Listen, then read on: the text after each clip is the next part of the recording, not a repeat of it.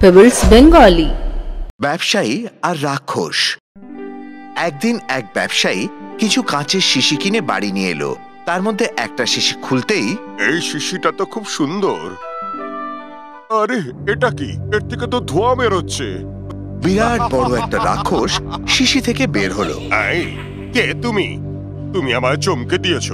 চলো যাও এখান থেকে। আমি রাক্ষস।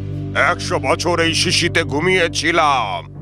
এবার আমায় কিছু কাজ দাও। কাজ? কেমন কাজ? তোমায় দেওয়ার মতো আমার কাছে কোনো কাজ নেই। শিগগির কাজ দাও না হলে তোমায় খেয়ে ফেলব। ব্যবসায়ী বুঝতে পারছিল না সে কি করবে। কিছুক্ষণ ভেবে সে উত্তর দিল ঠিক আছে এই পাথরগুলোকে তুমি হিরে বানিয়ে দাও। চোখের নিমেষে রাক্ষস তাই করল। নাও তোমার হিরে আরও কিছু কাজ বলো। আর কাজ নেই তুমি যেতে পারো। আমি কোথাও যাব না। কাজ দাও না হলে তোমায় খেয়ে ফেলব। দেখো আমার ঘরটা খুব নোংরা হয়ে আছে। একে ভালো করে পরিষ্কার করো যাতে নতুন মনে হয়। বাড়ি একদম পরিষ্কার হয়ে চমকাতে লাগল। এবার পরের কাজ বলো। আর কি বলি ওকে? ঠিক আছে আমার জন্য একটা বড় আর সুন্দর বাড়ি বানাও।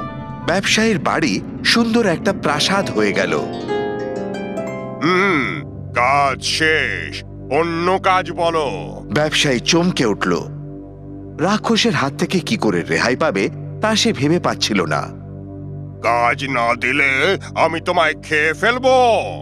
হঠাৎ ব্যবসায়ীর মাথায় বুদ্ধি খেলে গেল। এই নাও তোমার পরের কাজ এই চুলগুলো সোজা করো। সে কিছু জট পাকানো চুল রাক্ষসকে সোজা করার জন্য দেয়। রাক্ষস চেষ্টা করে চলে, কিন্তু চুলগুলো সে সোজা করতে পারে না। সে দিন রাত ধরে চেষ্টা চালিয়ে যায় আর শেষমেশ সেখান থেকে পালিয়ে যায়। কিছু জটিল কথা কখনো সরল হয় না। Pebbles, Bengali